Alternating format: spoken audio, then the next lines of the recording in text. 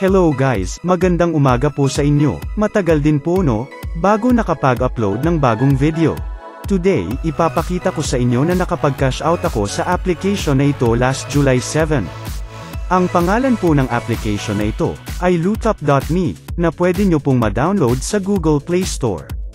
Or pwede nyo pong i-search sa website, at doon po kayo mag-sign up. So kung bago ka pa lang, pagka-open po ninyo ng application, ay bibigyan po kayo ng idea kung paano ito nagwo-work. And then, pwede po tayo mag-sign up direct sa kanila, or mag-sign up using Google account or Facebook account. After po noon, kailangan nyo pong i-input ang inyong username, syempre sa akin po, ay World Knows. Ayan guys, mga mga pa-bonus points po sila para sa mga new users. So kayo na po bahala dyan mga kaibigan, scroll po natin pababa. Then, show me more, at pindutin po natin ang get started.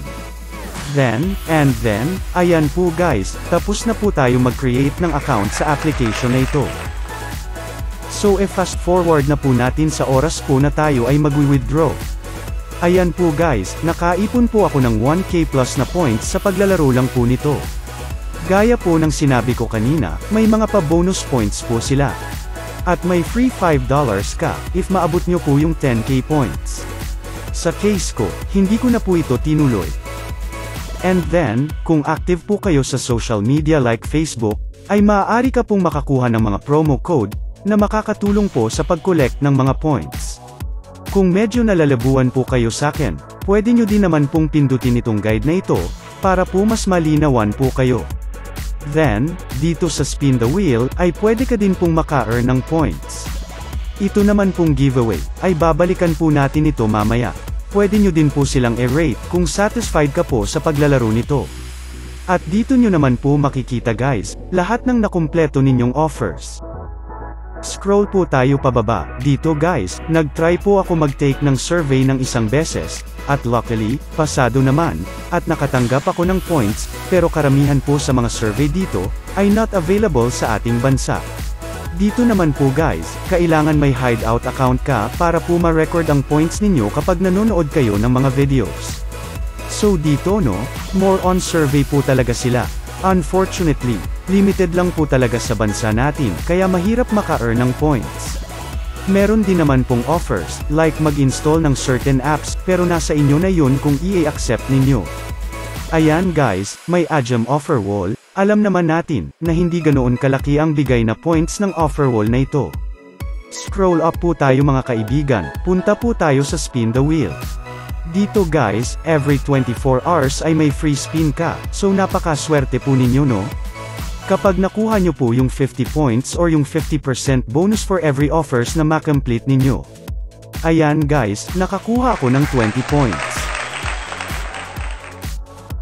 Balay mamaya po, ituturo ko po sa inyo, kung paano naman makaka-earn ng points, sa panonood lamang po ng mga videos. Punta po muna tayo sa Play Games tab. Dito guys, alam nyo naman, katulad din ng ibang reward application, every minute or every level, ay makaka-earn po kayo ng points. So need ng permission para ma-access nyo ang mga laro dito. Dito naman po sa giveaway tab, may chance po kayo manalo dito kapag napili po kayo.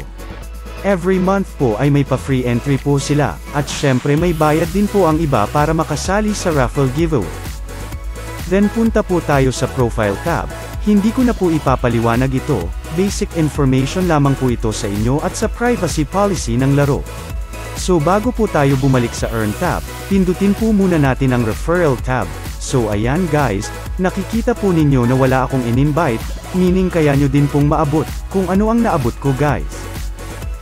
Balik na po tayo sa Earn tab, and scroll down, then pakipindot po ng Show All.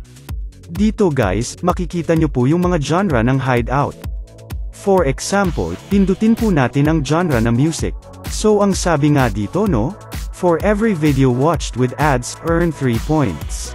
Masubukan nga natin guys. Pindutin po natin ang start earning, ayan guys, magde-direct po siya sa webpage ng hideout.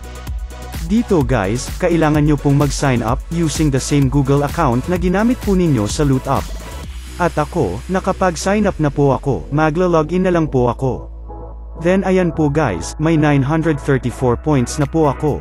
So paano nga ba tayo makaka-earn ng points dito? May ipapakita akong example video, pwede nyo din pong makita ang instruction dito, sa may upper left corner. So dito pala guys, hindi ko na sa inyo ipapakita na nakapanood na ako ng 3 ads, at kailangan po talaga dito makapanood ng ads para magkaroon ng points. At once na may napanood na po kayo na ads, kailangan nyo pong maghintay na mag-green ang screen, katulad po nito, ayan guys, naka-earn po ako ng 4.8 points. Ganoon lang po mga kaibigan. At bukod po doon, pwede din po kayo maka-earn ng points dito everyday. Araw-araw po, huwag niyo pong kalimutan pindutin ang redeem button, then add, para may bonus points po kayo. May mga paraffle din po ang website na ito, kayo na lang po mag-explore. So eto guys, nakalimutan ko pong i-record, kung paano malipat ang points from hideout to loot up.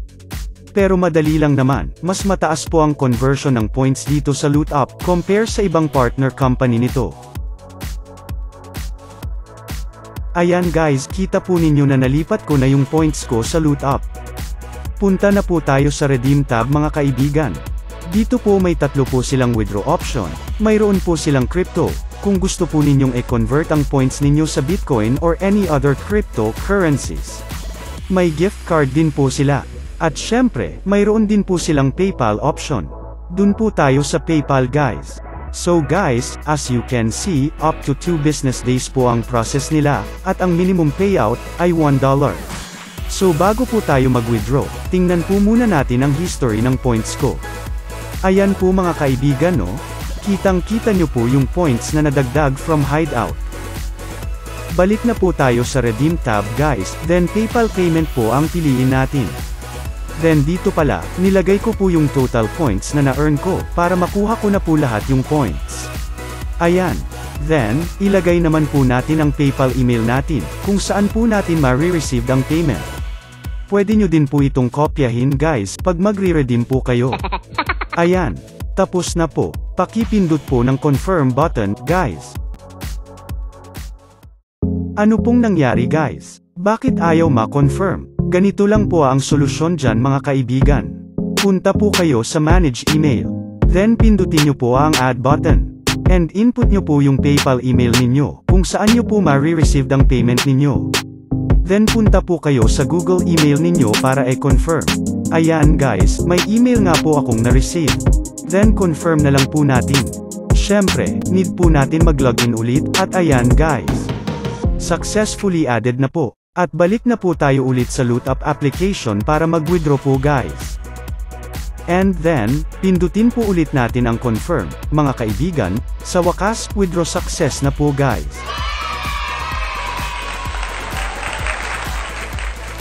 For confirmation po, e-check po natin ang email natin guys. Ayan po guys, kita po ninyo, na may email po sa akin si LootUp, na successfully redeemed. Bale maghihintay lang po tayo ng hanggang 2 business days para ma-receive po natin ang payment sa atin. After 48 hours po guys, dumating na po ang payment ni Lutop sa PayPal ko. Pero guys, dapat aware din kayo, base sa mga nabasa ko sa reviews, mahigpit masyado ang application na ito. Maraming salamat po.